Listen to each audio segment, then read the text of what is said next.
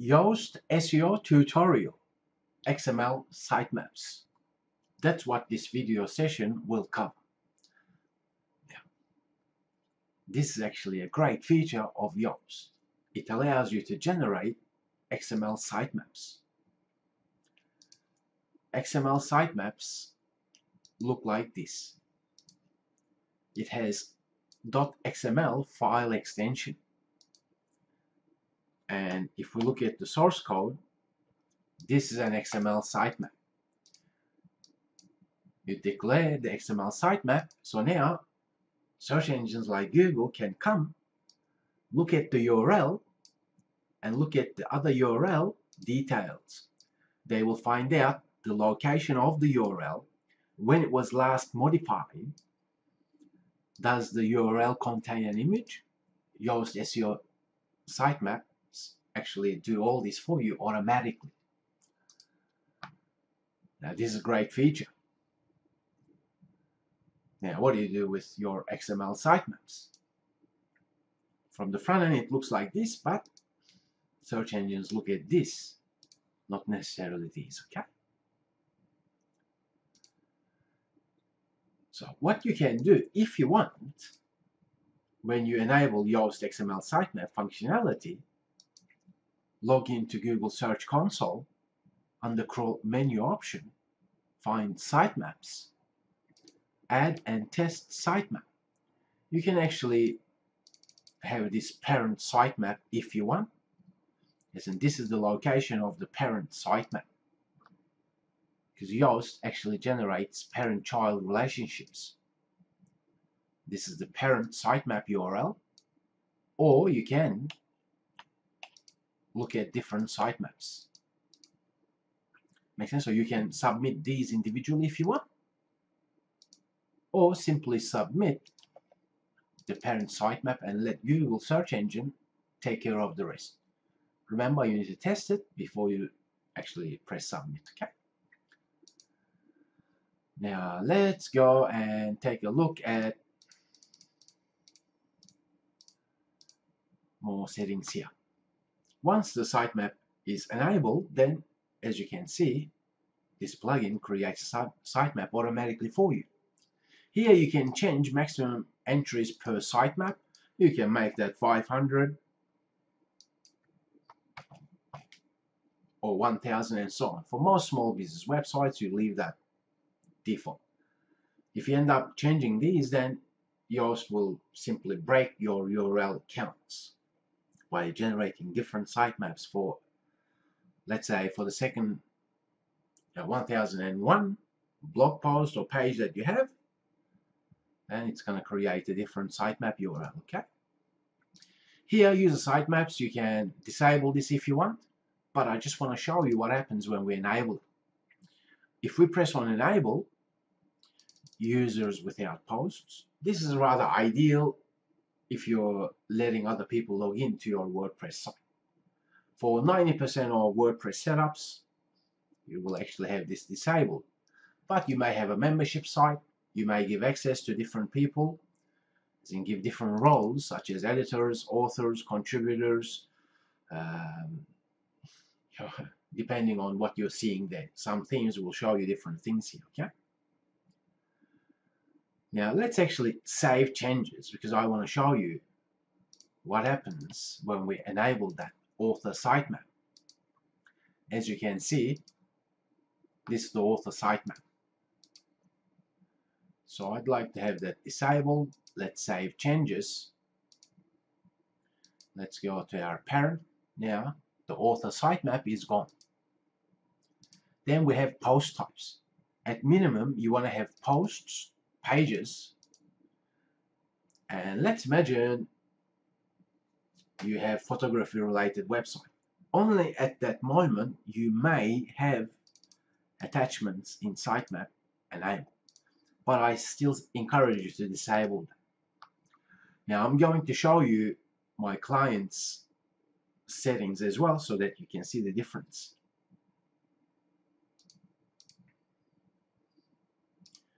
let's look at sitemaps post sitemaps now this particular valued client of mine is using custom post types and they do have a custom post type named as properties. So that should be in the sitemap.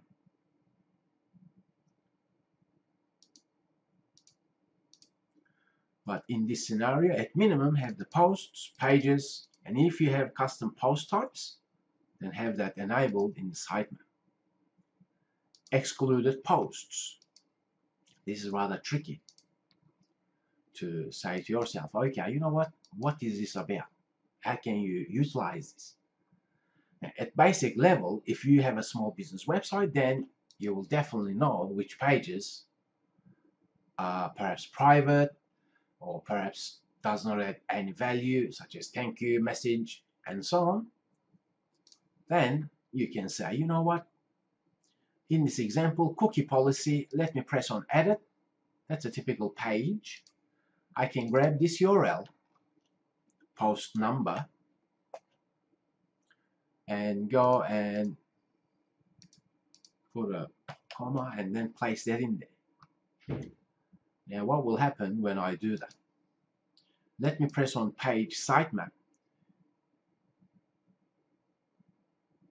Okay, let's press on this affiliate area. Testing this for one of my valued clients. Obviously I forgot it, but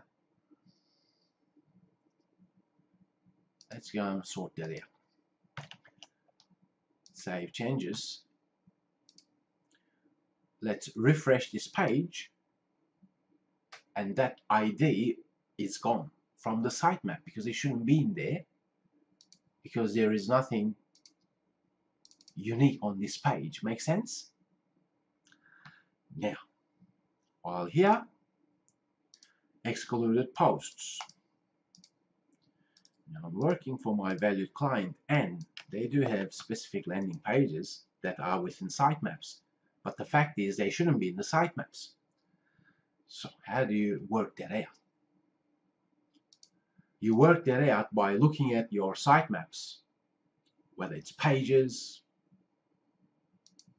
whether it's custom post types, whether it's product categories for WooCommerce sites and so on, and ask yourself, the pages that you have or the URLs and so on, do they have unique content?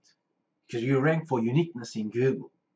And if they don't have unique content, or if they have duplicate content, such as perhaps you're running promotion, you have specific landing pages, they all look the same, but uh, certain message changes for each URL, such as the case for my valued client. But the fact is, once Google becomes aware of these URLs, then your rankings are affected. Make sense? So that's why you need to work out, you know what? Do I have duplicate pages? It's the same page, same content on different pages. It's in different URLs. Make sense? And if that's the case, then you may say, okay, you know what? Can I exclude some of them? And once you do that, then in the sitemaps, all those details will be gone. But the thing is, I'm going to show you another method to make sure this actually works and then your rankings improve quickly especially if you have lots of different URLs to exclude because although you can use this what this is going to do it's just going to remove those URLs from the sitemaps but if Google is aware of those URLs then it's still calculating your rankings so what can you do to remedy that? As in, get rid of duplicate content and so on, right? What you can do, I'll actually show you.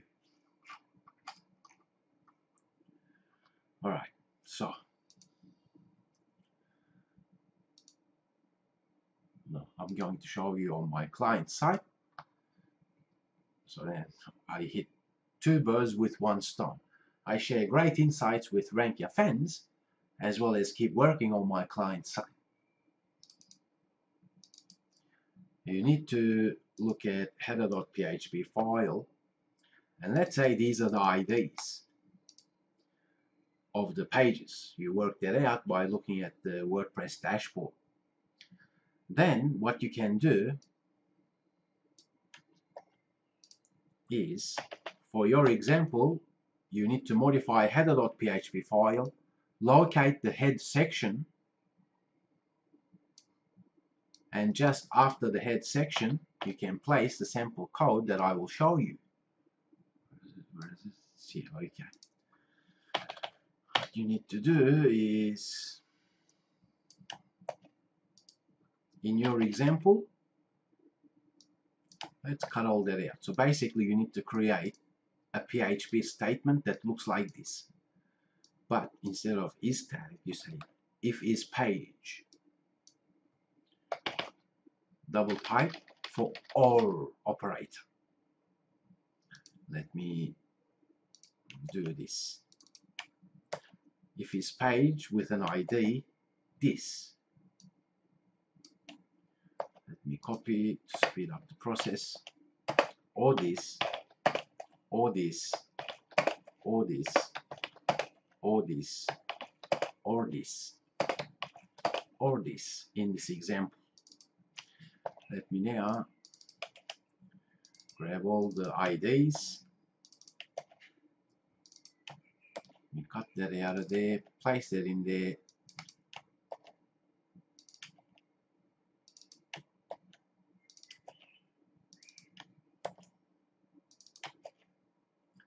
I need three more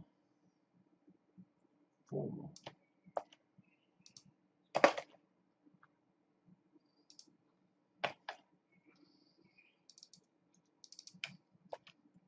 because this will be the correct way of fixing that duplicate bizarre.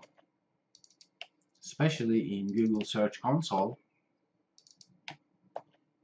HTML improvements if it's showing you duplicate things for your WordPress site and this is actually the most intelligent way for you to quickly remedy that.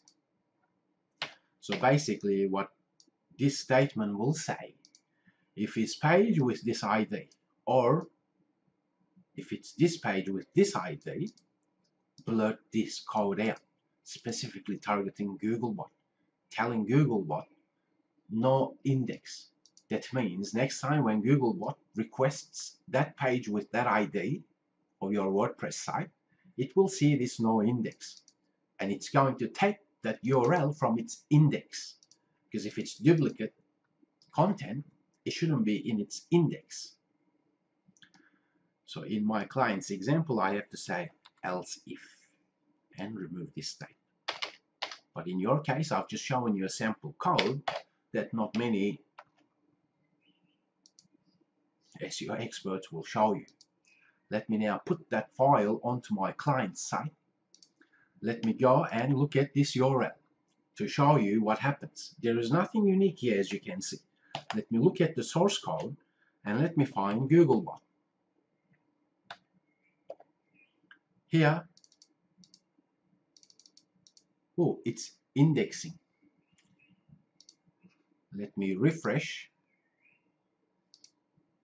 That is no index now. Makes sense? So before it was indexed, now I fixed it up. And I also made sure those URLs are not within the sitemap.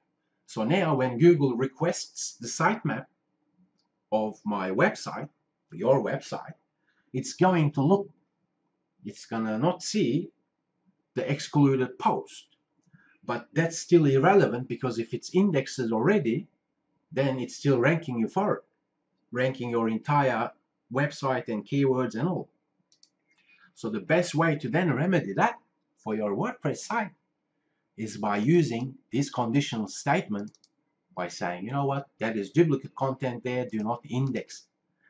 For your future duplicate content issues, to avoid it, make sure you're using canonical URLs. So make sure you're seeing this relevant relationship canonical. So this link is the canonical. So if you have this in place, then don't be alarmed with duplicate content issues because Google search engine is highly advanced. It can work things out. but your aim is not just to optimize your website but precisely control what Google ranks your website for. That's why you exclude posts and also no index them if you're 100% certain there is nothing unique on certain URLs of your WordPress site. So let's continue looking at taxonomies.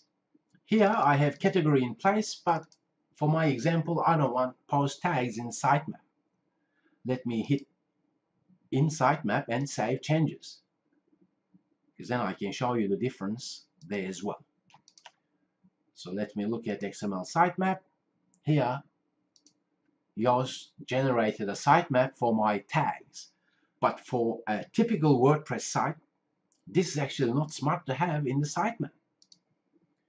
That's why I don't want to have it in the sitemap. Now you may think, why? Let's explore why. This is a tag. That's a tag URL and that's a tag URL as well. Take a look at this. That's a URL. That means if Google is aware of a URL, it's going to analyze what's on it. And there is nothing here that is unique. It's just a typical WordPress setup. Makes sense? On this page, there's nothing unique. This content is somewhere else on my website. Let me show you where that is it is here adding new users to WordPress so it's coming from here but I want to rank for this URL and whatever the keywords on this URL I don't want to rank for this URL and I want to make Google's job very easy as well by saying to Google you know what Google I don't have a sitemap for you to go and analyze my website does not contain anything useful here. Let's look at the source code. Let's go and find Googlebot again. Here, I've said, you know what? When you come to URLs like this on my site, Googlebot, do not index these because there's nothing unique here.